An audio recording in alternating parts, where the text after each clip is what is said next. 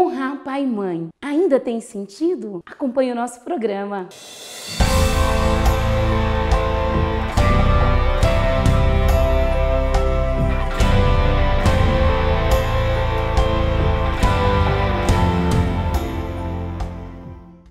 Querido irmão, irmã, é uma alegria mais uma vez estar com você, rezando, pedindo o Espírito Santo de Deus. Convido você a se colocar em oração.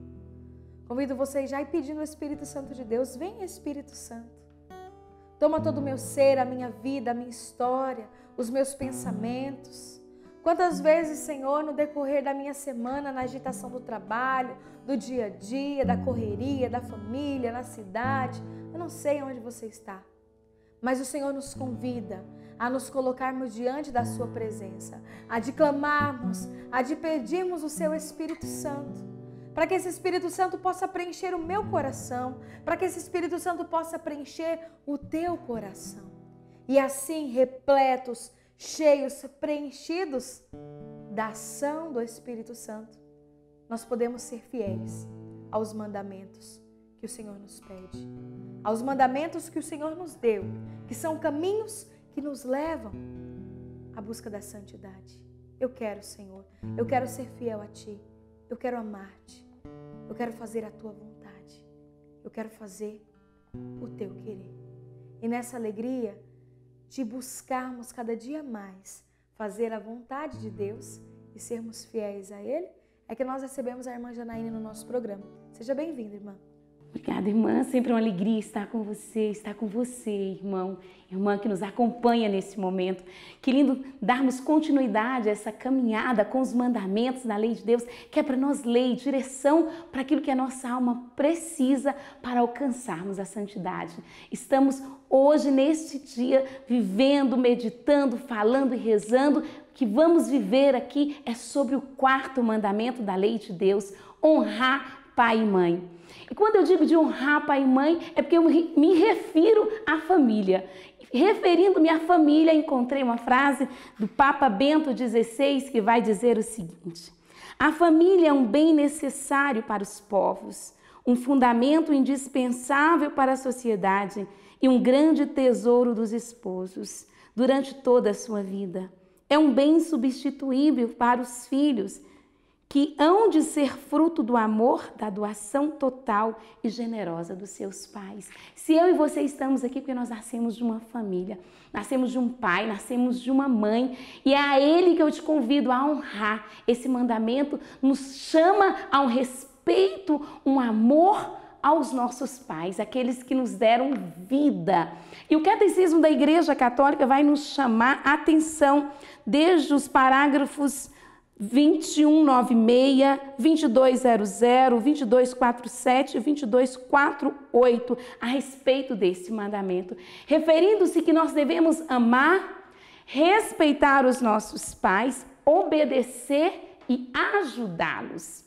E diz o seguinte: não só aqueles que são os nossos pais biológicos, mas aqueles que também nos ajudaram e nos ajudam na nossa educação, ou seja, aqueles que foram e são para nós professores, aqueles que são para nós mestres, aqueles que são os avós, se refere também aos avós, aqueles que são também é, padrastos, onde nós devemos também respeitá-los e amá-los. E aí você poderia me questionar, e eu rezava por esse programa e me via diante de situações que eu acompanho, de oração no sentido, irmã, mas como eu vou respeitar aquele que também não é um exemplo para mim?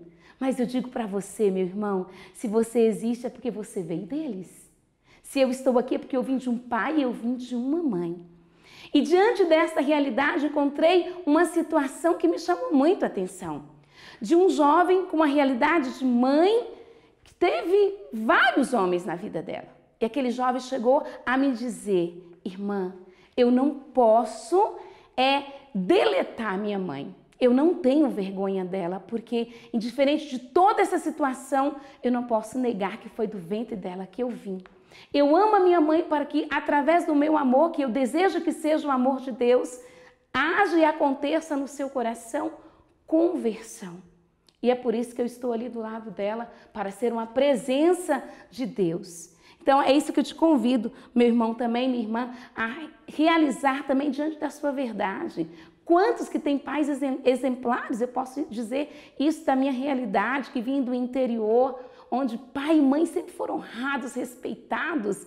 Eu vim de uma realidade de família onde eu nunca vi os meus irmãos, meus irmãos levantarem a voz para os meus pais. E já vi isso desde os meus avós. Então, uma realidade que sempre cresceu dentro de mim, por isso que me ferve o coração quando eu vejo uma criança de três anos mandar o pai e a mãe calar a boca. Porque já desde pequeno o negócio já está no coração, já está ali de que, de que é assim, de que não tem valor, de que é igual. Não. Eles devem ser honrados, respeitados desde pequenos. Isso deve partir de você, pai, deve partir de você, mãe também, para que eles possam também te respeitar. Eu quero louvar a Deus pela vida deste jovem. Eu encontrei um testemunho em um retiro que pregava aí pelo Brasil, de uma adolescente que ela queria muito falar com o pai e se aproximava o dia dos pais. E ela fez uma cartinha toda especial para o pai. E ela disse filha de pais separados. Pai, eu quero muito que o senhor venha aqui, que eu quero te dar um abraço. E o pai disse: Olha, eu não posso essa semana, mas eu vou combinar com você qual outro dia que eu posso ir aí te ver e receber o presente que você tem para mim. E ela ficou muito triste. Ela disse: Então eu não quero mais que o senhor venha, não quero. E ela disse: Olha, mãe, eu não atendi mais o telefone do meu pai, eu não quis mais falar com ele. Só que meu pai teve um acidente naquela semana e morreu. Meu Deus, gente eu pude rezar com aquela jovem aqui no meu colo, porque tamanha dor, tamanho sofrimento, rezando com ela para perdoar a si, para perdoar o pai nessa situação do que ele tinha da situação como aconteceu tudo isso. E ela dizia: "Irmã, eu não honrei o meu pai". Então não deixa chegar uma situação como essa, né? Ame, perdoe, esteja do lado, te abrace, fala que eles são lindos, faça agrado. E o mandamento da lei de Deus, o quarto mandamento, honrar pai e mãe, traz para nós uma promessa, diz o catecismo da Igreja Católica, que aquele que honra pai e mãe é feliz. Você quer ser feliz? Honra seu pai, honra sua mãe. Não espere chegar a situações como eu já vivenciei, eu acredito, vivenciei e acredito que cada uma das minhas irmãs também, em situações de velórios, de situações de tremenda dor, porque não perdoou, porque não conversou, porque não falou, porque não amou enquanto tinha tempo. Então eu te convido a amar os seus pais, respeitá-los, ajudá-los, porque eles são joias preciosas. E nós vamos pedir que o Espírito Santo de Deus seja a nossa força. Eu te convido a pedir o Espírito Santo de Deus também para que você possa ser uma explosão do amor de Deus na sua casa.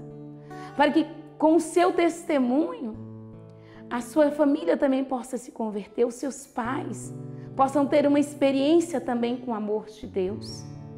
Quantos jovens encontro que sofrem porque querem buscar a Deus e não existe aceitação da parte dos pais, acham que estão exagerados.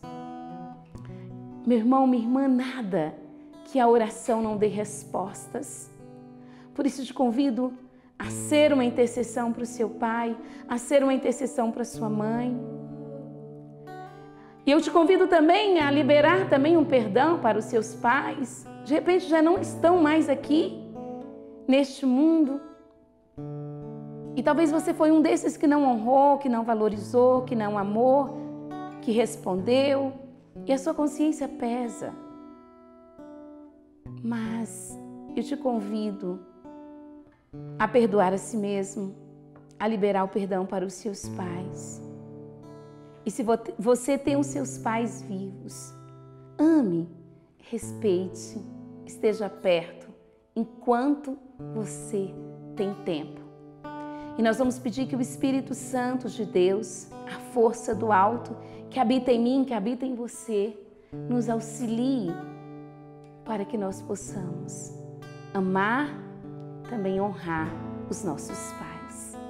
Me conduz, Espírito Santo,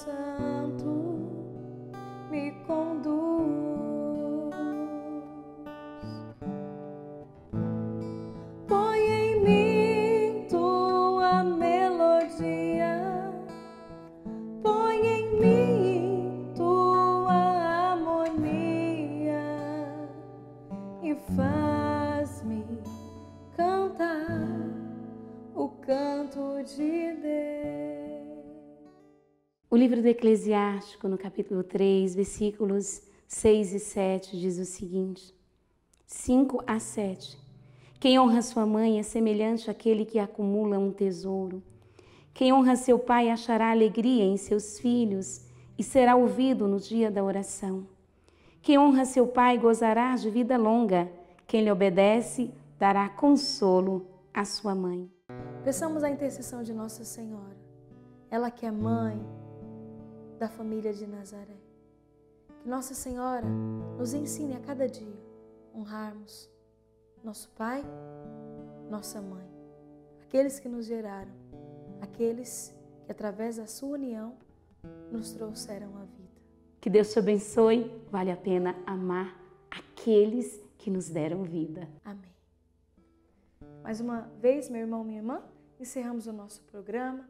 Você que ainda não é inscrito, se inscreva no nosso canal dê o seu like, clique no sininho para receber as nossas notificações. É uma alegria estar rezando com você. Encerramos o nosso programa. Em nome do nosso Deus que é Pai, Filho e Espírito Santo. Amém.